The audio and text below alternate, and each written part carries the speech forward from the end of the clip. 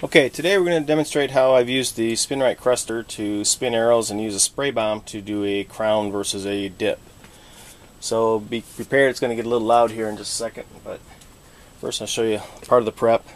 Uh, in the past I've always taped off the arrow right here at this at this line where I want my crown to end. But a guy suggested that he slips on pieces of old aluminum shaft, so I slipped on about an 8 10 inch piece and then taped it off and give it a try. So let's fire everything up and see how it works. I keep the spray can quite a ways back so that I can get a nice even coat without getting crazy with it, but it takes a little longer to spray that way.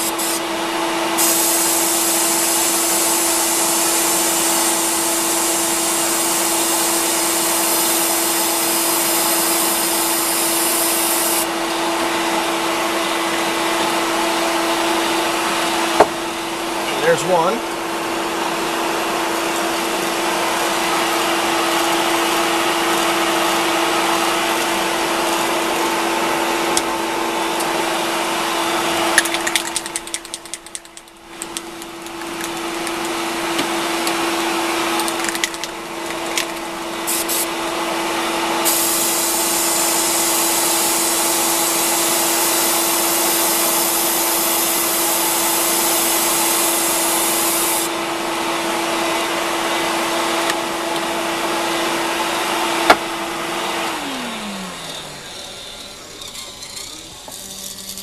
And there's the second one.